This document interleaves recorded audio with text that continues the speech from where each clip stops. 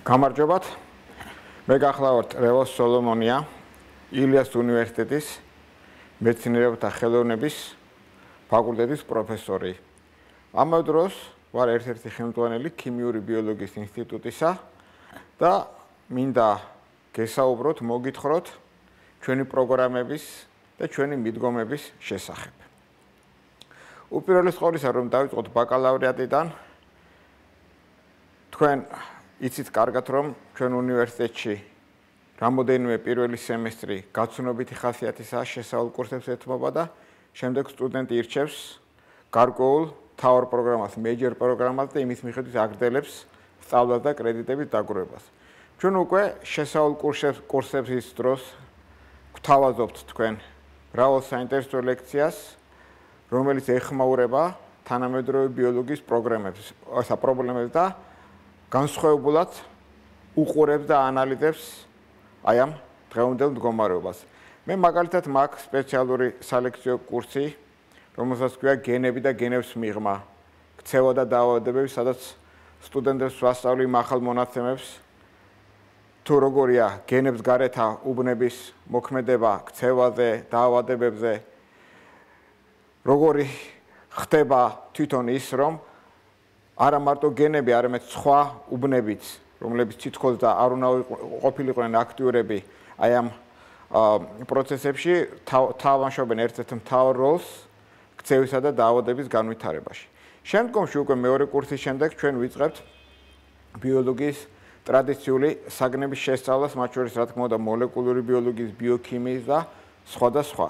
მე მინდა ერთი რამზე რამეზე გავამახვილო თქვენი ყურადღება, რომ ჩვენი მიდგომა არის განსხვავებული არ ჩვენ არ კონცენტრირდებით მარტო ფაქტობრივი მასალის გადმოცემაზე, არამედ ვცდილობთ რომ სტუდენტს გაუნვითაროთ ანალიზური აზროვნების უნარი.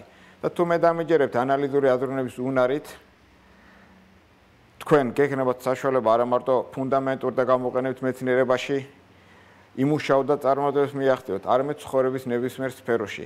და სწორედ ძალიან ხშირად აი ამ ფუნდამენტური მეცნიერებიდან მოდიან ცნობილი პოლიტიკოსები, ეკონომისტები და ასე შემდგომ.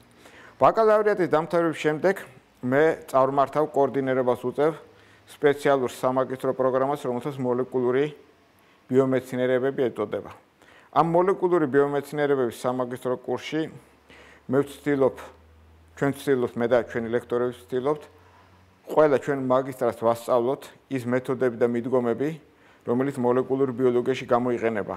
და ეს მოლეკულური ბიოლოგიის მეთოდები ფართოდ გამოიყენება ცხოვრების ყველა სფეროში, სასამართლო მედიცინაში, კრიმინალისტიკაში, მედიცინაში, სოფლის მეურნეობაში, კვების მრეწველობაში. არ არის პრაქტიკულად არცეთი დარგი, რომელსაც აი ამ მეთოდების გამოყენებით არ სწავლობდნენ და არ იყენებდნენ ესა კვლევარები. ყველა დარგში გამოიყენება ეს მეთოდები და ამიტომაც ეს სამაგისტრო კურსი ძალიან საშუალია და რაღაცა თქვენთვის სავიზიტო ბარათს წარმოადგენს ნებისმიერ სხვა ბიოლოგიური სამედიცინო თუ სასოფლო მიმართულებით მუშაობისა. ყოველივე აი ამის შემდეგ ჩვენ გვაქვს კიდე უკვე უკვე უკვე ჩვენ გვაქვს სპეციალიზირებული სადოქტორო პროგრამა, რომელსაც მოლეკულური ნეირობიოლოგია ეწოდება, რომელსაც ასევე მე ხელმძღვანელობ და აი უფრო კონკრეტულად გეტყვით, რომ ჩვენ აი მოლეკულური ნეირობიოლოგიის სადოქტორო პროგრამაში ვსწავლობთ ორ ძალიან საინტერესო პრობლემას, ეს არის მეხსიერების მოლეკულური საფუძვლების კვლევა და ამისათვის ვიყენებ ძალიან საინტერესო ციტილების მოდელს, შტაბეშტვის მოდელს ციტილებში და თქვენ წარმოიდგინეთ ჩვენ ვიცით იმ ბევრი მოლეკულების შესახებ და იმ გარდაქმნათა შესახებ, რომლებიც მეხსიერების ჩაწერას განაპირობებენ.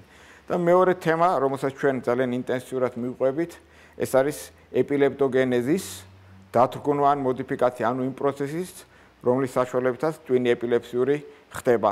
ეპილეფსია იყო და არის დიდი პრობლემა, და ჩვენ ვცდილობთ რაღაცნაირად ჩვენი წვლილი შევიტანოთ აი ამ საკითხის გადაჭრაში, ისევე როგორც ვცდილობთ წვლილი შევიტანოთ აი ამ მეხსიერების მექანიზმის კვლევაში. მადლობთ. რამდენი წუთი გამოვიდა?